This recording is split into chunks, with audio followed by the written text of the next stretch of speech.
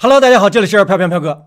今天咱们来说一下最严谨的预言家门塔对于2022的每个人的命理的预测。关于费陀占星术，咱们频道的小伙伴们也都不必多言，信不信全由你把控，爱不爱全由你操纵。大家都知道，包括曾经的苹果的乔布斯、猫王、滚石乐队等等，为了创作都专门的到过印度，也包括现在的比尔盖茨。也是为了神奇之道而疯狂的实践者。对于印度的经法，咱们也是最熟悉不过了，以唐朝的玄奘最为出名。那么，到底门塔的二零二二解说怎么样呢？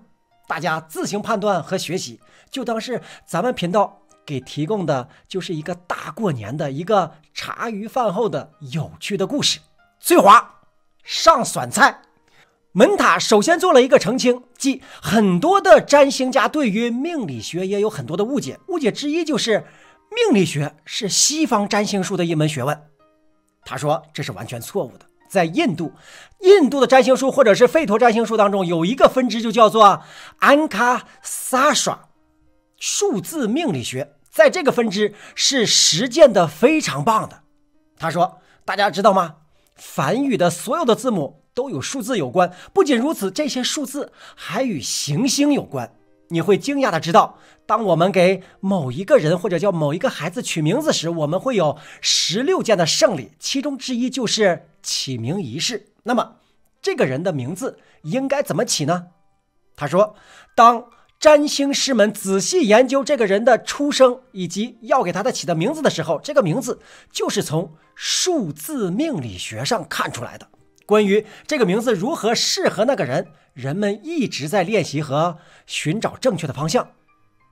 占星大师讲，我们不知道过去发生了什么，未来会发生什么。即使我们的感官和智力有限，我们甚至不知道某件事是否值得去做。但是在占星术大师的帮助之下，给孩子起一个名字，让他们能够过上好好的生活，这是我们的宗旨。他们将能够完成他们自己一生的使命。现在，基于古代大师克里希纳和巴拉姆的数学命理系被命名，在这个系中也有日食。在这个系中，他讲还有数字和命理学。在这个数学系中，瑜伽意味着加法，安塔意味着减法，迦南意味着乘法，巴占。意味着除法、平方、平方根和梵语的所有的字母，它们与数字都有着一定的关系。门塔讲这些在古老的经书当中都有论述。随即，他给出了今年的数字命理参考：二零二二年一到九数字会是什么样的结果？看看大家这一年的命理到底是什么样的，都有对照。门塔说：“记住，这里所说的一切都是基于费陀占星命理学的。让我们谈一谈第一个数字。如果你出生的日期是第一天、第十天、第十九天，或者是第二十八天，他所说的是在每一个月的这第多少天，那么你将是被称为是一号人物。对于你来讲，二零二二年将介于平均水平和挑战之间。”四月前的时间对健康很有好处，九月后的时间也很好，但是从五月到八月的时间里将是一个挑战期，你需要非常的小心你的心理健康，必须要小心像血压或者是糖尿病这样的身心疾病。如果你已经患有某种疾病，从五月到八月的时间会给你的健康带来很多的并发症，因此在二零二二年你必须对自己的健康更加的谨慎。总的来说，这段时间对财富是有好处的。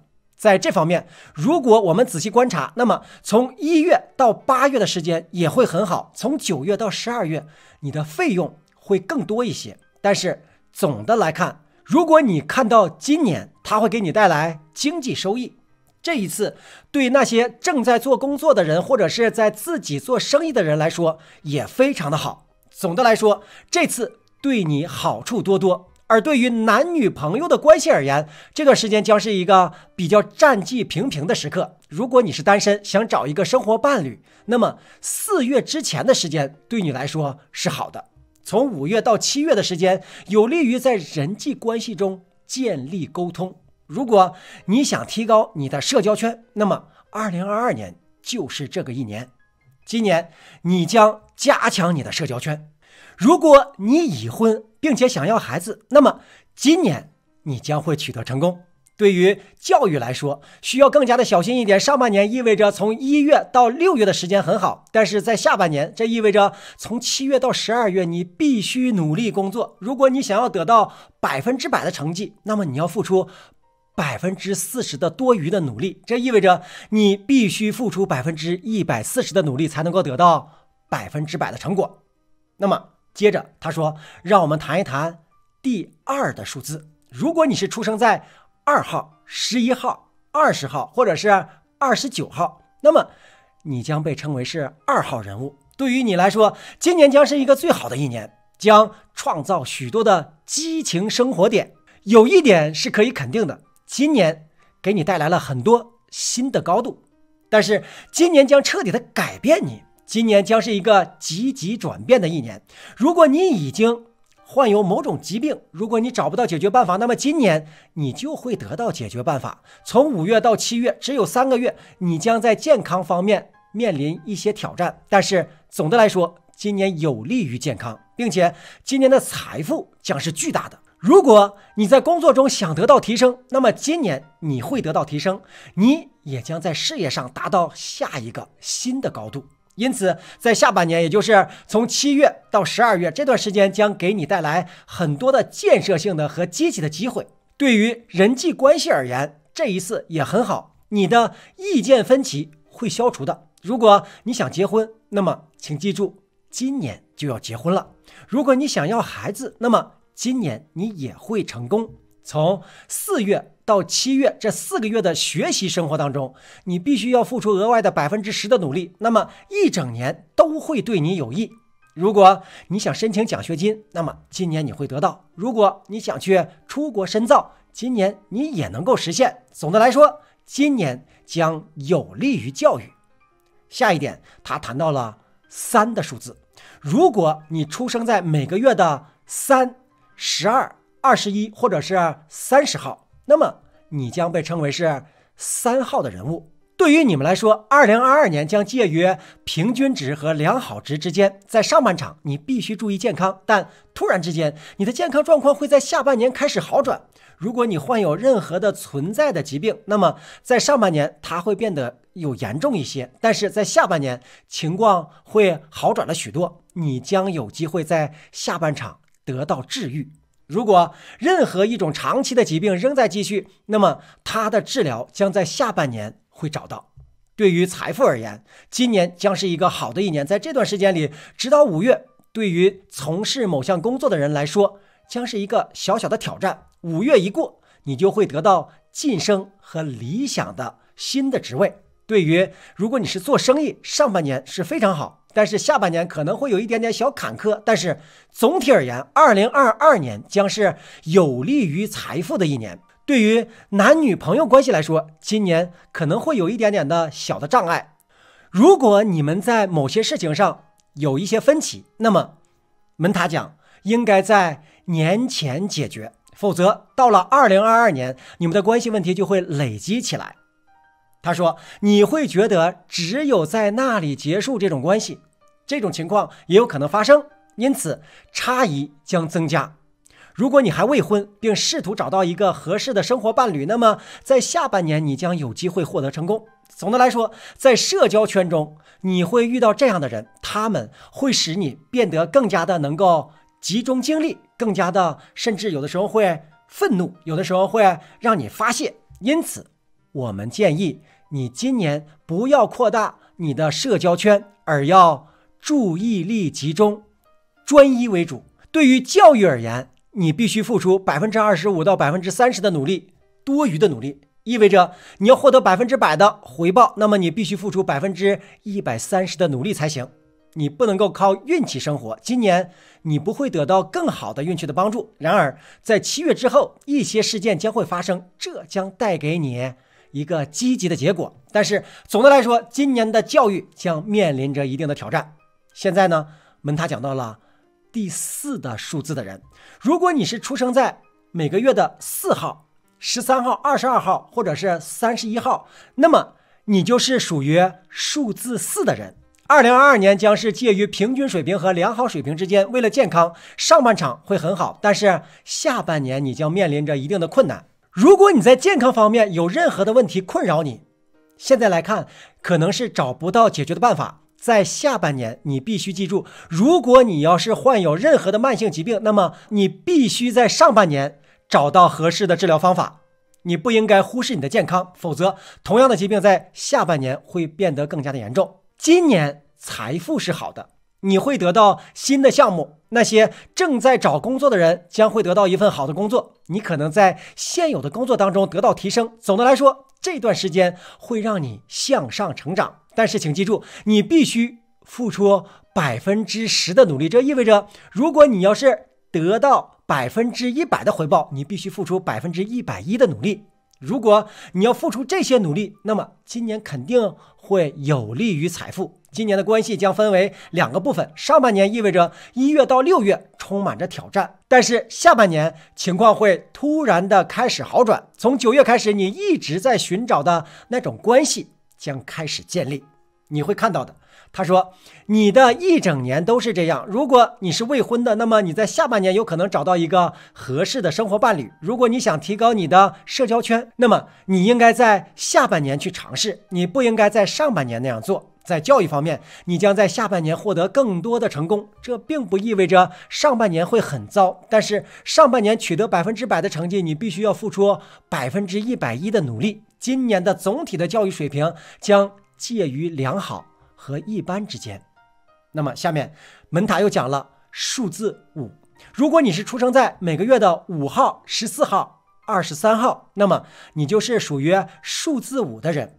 对于你们来说，二零二二年将是美好的一年。为了健康，如果你患有一些疾病，那么今年你就会得到治愈，而且二零二二年不会有新的疾病的产生。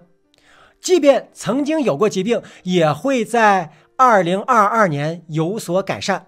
总的来说，只要付出最小的努力，你的健康就会恢复。对于财富而言，下半年将是平均水平，但是上半年非常好。在这方面，四月到六月将是你的最佳的时期。在一份工作当中，如果你要得到晋升，或者是想得到理想的职位，那这将是业务全面增长的时候。你可能会在合作中遇到一点小困难。但是都不是任何问题。如果你在自经营一些个体的职业，或者是你在打一份你自己将来发展的工作，那么今年对你来说将是非常好的一个开始。对于男女关系来讲，上半年会很好，未婚的人会得到一个合适的生活伴侣。如果存在着任何的意见的分歧，他的解决方案将自动的，或者是不费吹灰之力的得到解决。今年是解决婚姻问题的一年，互动会增加，你的社交圈也会更好。对于教育来讲，今年将是一个伟大的一年，你会得到比你努力更多的结果。这意味着今年你将获得百分之二十五以上的业绩，意味着今年你应该去努力的工作，因为你今年更加的幸运。因此，尽可能多的利用今年去做事情。今年将是。值得纪念的一个非常好的教育年。门塔下面讲到了数字六，如果你的出生在每个月的六号、十五号、二十四号，那么你就是属于数字六的人。对于你来说，今年是从好到更好的一年，你将见证许多的改变生活的事情发生。你会看到，今年你的生活将会推向一个新的高度。你等待了这么多年的时间，你一直在等待的事件，所有的事件，机会就在今年呈现在你的面前。对于健康而言，五月到六月有可能会有一些小疾病，那么剩下的时间都会非常好，健康状况会得到改善。如果一种疾病持续的时间很长的话，那么它的治疗的时间或者是治疗的方法也会被很快发现。总的来说，就你的健康而言，今年是非常棒的一年。你会看到你的事业，而且财富都会上升到一个新的水平。